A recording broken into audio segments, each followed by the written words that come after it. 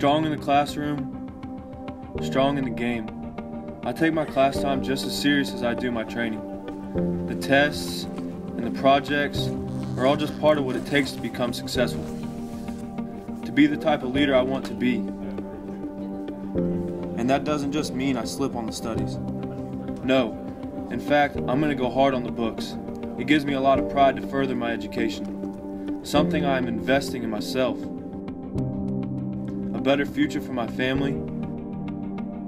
Touching the world in a way only a student athlete that has given everything I have till the last second.